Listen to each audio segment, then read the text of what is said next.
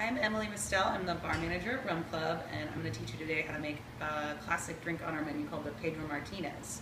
It's a riff on a classic cocktail, the Martinez, which is a gin um, Manhattan essentially. So we added uh, El Dorado five-year rum, two ounces.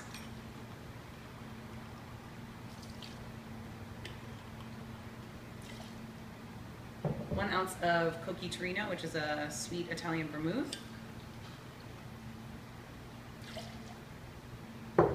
Quarter ounce of Marasca Maraschino liqueur.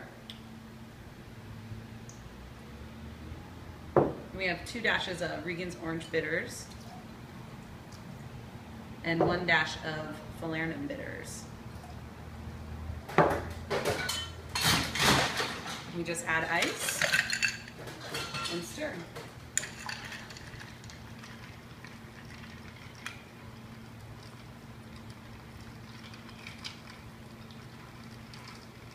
You want to stir until the glass gets a little frosty, I would say, depending on what kind of ice you're working with.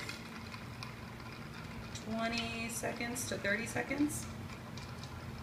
But I'm going to speed up the process a little bit here. Strain over one big ice cube.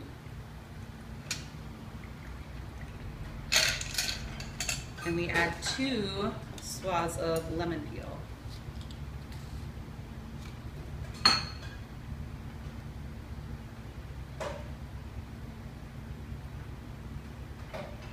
There we have it, the Pedro Martinez.